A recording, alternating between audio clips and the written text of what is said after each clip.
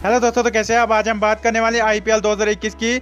IPL 2021 में आप सिर्फ़ 35 घंटे का ही वक्त बचा है। आज मैं आपको कुछ ऐसे खिलाड़ियों के नाम बताऊँगा, जिन खिलाड़ियों ने आईपीएल 2021 का पहला फ़ेज़ खेला, लेकिन सेकंड फ़ेज़ में वो खेलते हुए नहीं दिखेंगे। आज मैं आपको उन खिलाड़ियों की रिप्लेसमेंट बताऊँगा और उन खिलाड़ियों के नाम भी इस वीडियो में पूरी तरह से आपको बताने की कोशिश आज मैं आपको करूँगा।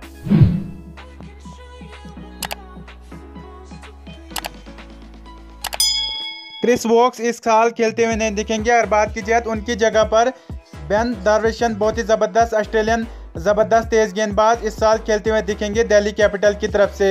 इसके अलावा बात की जाए तो एम सिद्धार्थ खेलते हुए नहीं दिखेंगे, उनकी जगह पर कुलवंत कजरोलिया खेलते हुए दिखेंगे दिल्ली कैपिटल की तरफ़ से। इसके अलावा अगर बात की जाए तो पैट कमिंस भी खेलते हुए नहीं दिखेंगे। इनकी जगह पर टीम सोदी खेलते हुए दिखेंगे। कलकत्ता नाइट राइडर की तरफ़ से। इसके अलावा बात की जाए तो रैली मेरीडेट इस बार खेलते हुए नहीं दिखेंगे सेकंड फ़ेज़ में और उनकी जगह पर नैथन इल्स खेलते हुए दिखेंगे पंजाब किंग की तरफ़ से। जेही रिचर्डसन भी खेलते हुए नहीं दिखेंगे। उनकी जगह पर रिप्लेसमेंट खिलाड़ी आदिर रशीद को किया गया और बात की जाए पंजाब किंग की तरफ़ से, अब जेही रिचर्डसन की जगह पर आदिल रशीद खेलते हुए दिखेंगे। इसके अलावा और बात की जाए तो डेविड मिलान की जगह पर एडम मार्क्रम खेलते हुए दिखेंगे और एडम जिम्पा की जगह पर वांडोर हजरंगा खेलते हुए दिखेंगे आरसीबी की तरफ़ से। डेनियल सेम को भी इस साल, यानी इस साल वो, यानी आईपीएल के सेकंड फ़ेज़ में खेलते हुए नहीं दिखेंगे। उनकी जगह पर चमीरा खेलते हुए दिखेंगे, आरसीबी की तरफ़ से श्रीलंका के बहुत ही बेहतरीन तेज गेंदबाज है ऑन फ़ील्ड एलन भी खेलते हुए नहीं दिखेंगे।